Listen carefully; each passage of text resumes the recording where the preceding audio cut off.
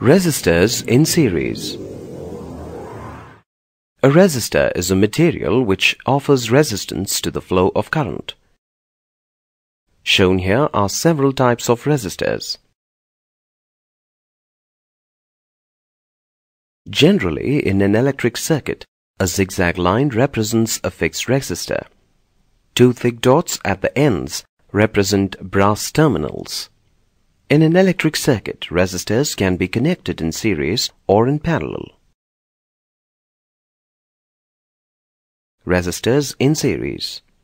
Resistors are said to be connected in series if they are connected one after the other in the form of a continuous chain as shown here. Let us now calculate the effective resistance of the circuit. Consider three resistors R1, R2 and R3 connected to a battery through an ammeter. Observe the multimeter reading when it is used to measure potential difference across R1, R2 and R3. Now observe the multimeter reading when it is used as an ammeter.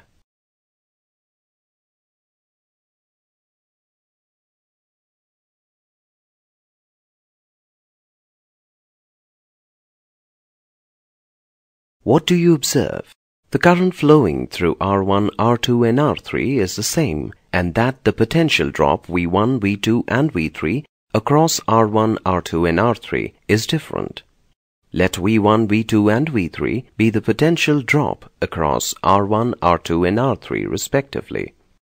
Under ideal conditions, potential drop across the resistors is equal to the sum of the individual drop in potentials. That is, V is equal to V1 plus V2 plus V3, where V is the total potential drop.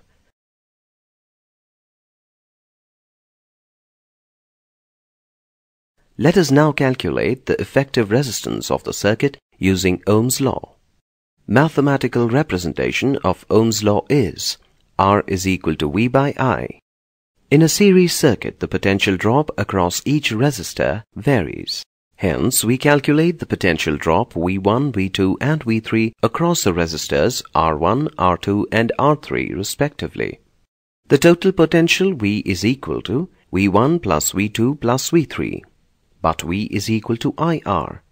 IR is equal to IR1 plus IR2 plus IR3. R is equal to R1 plus R2 plus R3. Therefore, the effective resistance of the circuit is equal to the sum of the resistances of the individual resistors in the circuit.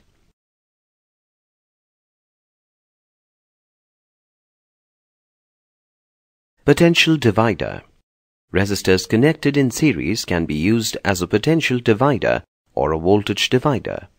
Let us consider two resistors connected in series across a battery of negligible internal resistance as shown here.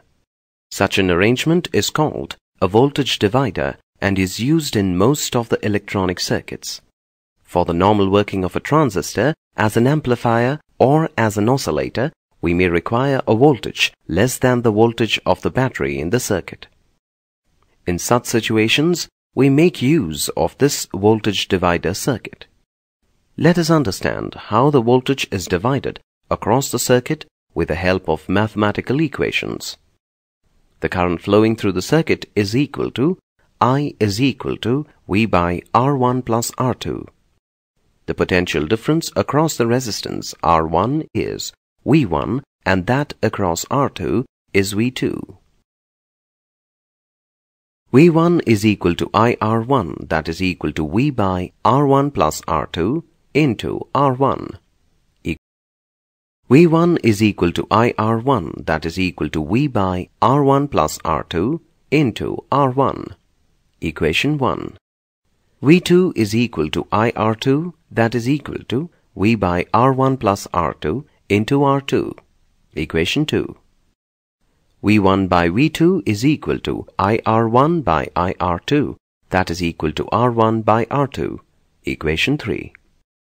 The equation 3 shows that the potential difference across a resistance is directly proportional to the resistance. That is, If R2 is small compared to R1, then the potential difference across R2 will be small.